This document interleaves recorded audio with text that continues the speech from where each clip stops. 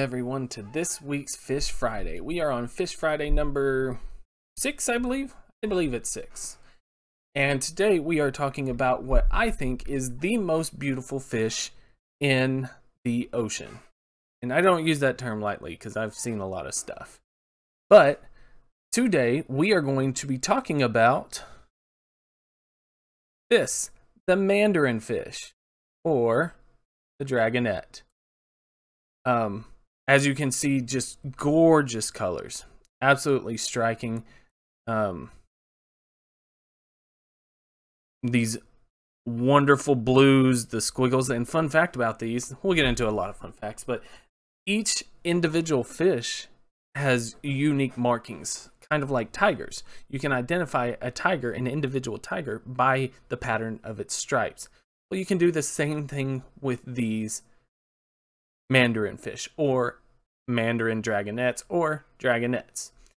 Um, the scientific name for this fish is Synchi, Synchiropus, Synchiropus splendidus. And as you can see, it's got its specific epithet, which is the second part of that name, splendidus, from its splendid colors. It is a member of the Dragonet family. For those of you who might be familiar, it is similar to a goby, but they are different than a goby.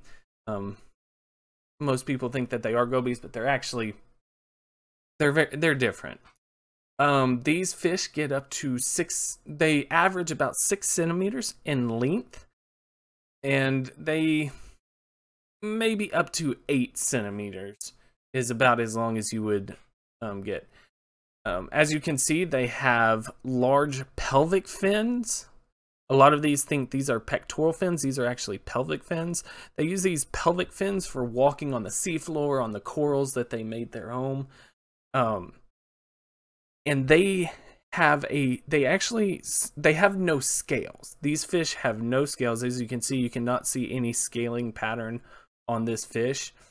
Um, what they do is they secrete a toxic mucus to deter predators. So it's really toxic to anything that tries to eat it. And apparently, and I don't know this for a fact, but apparently it smells terrible.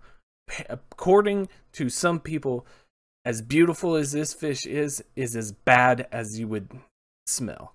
So that gives you that um, just to, for your own education, this sort of color pattern, aposematism, is basically saying, don't eat me with colors. Um, a lot of people can think of like um, poison dart frogs, you know, those real bright red, blue, green frogs that come from the Amazon. Those are the same thing. They are practicing aposematism by and saying, "Don't eat me," using colors instead of trying to be trying to hide from predators. These these are still pretty still hide pretty well, but these are basically saying well, if I go out and you eat me, you're going to regret it. Um they something about this blue um this blue coloration this blue coloration is extremely unique and you might be thinking, what do you mean, Ping? It's blue. A lot of fish are blue. However, this blue, this vivid kind of electric blue, is created by using cyanophores. Most other fish that give off a blue tinge or a you know a light blue, they are using um, leucine crystals in the scales. These are actually creating their own pigment kind of like you would think the chlorophyll in plants. These are kind of that same thing. They're creating this pigment themselves, this blue color themselves, which is really unique. In fact, only this species and uh, we'll get into that, Tavi. Only this species and one other of the same family has this blue coloration using cyanophores, and that is the psychedelic mandarin. Um, something to note if you want to tell the difference between males and females. Males are going to have this dorsal spine.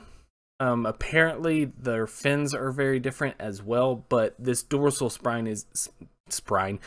this dorsal spine is going to be the easiest way to tell. Um, these fish live in the Philippines and Australian coastlines. Um, are these exotic? I mean, they're from the Philippines and Australia. Um, they live in sheltered and inshore reefs, so they live in you know very slow moving uh, reef environments. And normally, when you get a coloration patterns like this, you can expect them to be in a reef setting. Um, now,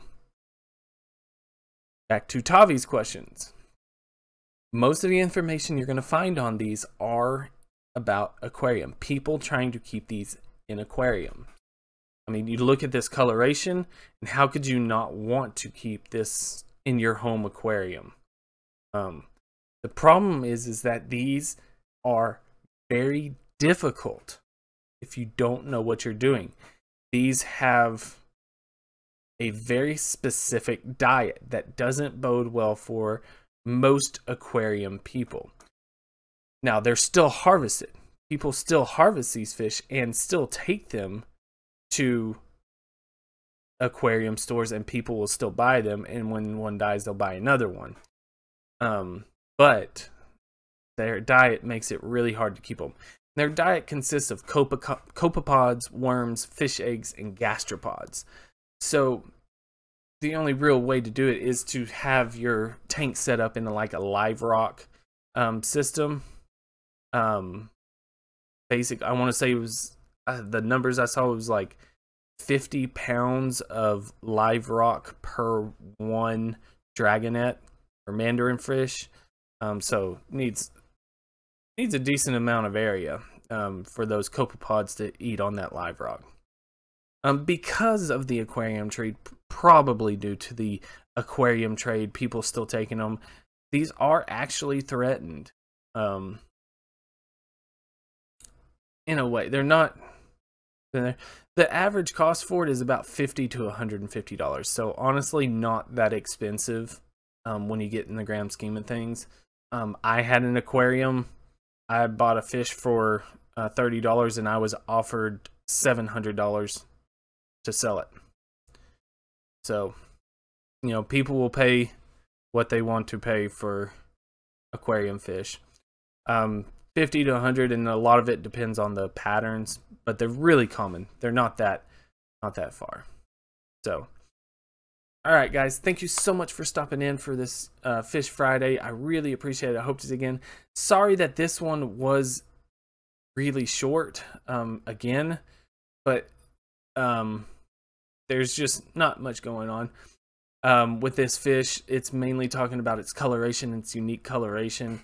Um, it does have an interesting spawning pattern, um, but but thank you guys so much again. Please leave a comment, like, and subscribe. If you do, I would really appreciate it. Please leave a comment as well telling me what you would like me to see. This fish was actually recommended in the YouTube comments by one of our longtime supporters, Tavi, who is also in our Twitch stream. So thank you guys. Please be safe. Please take care of your loved ones and peace.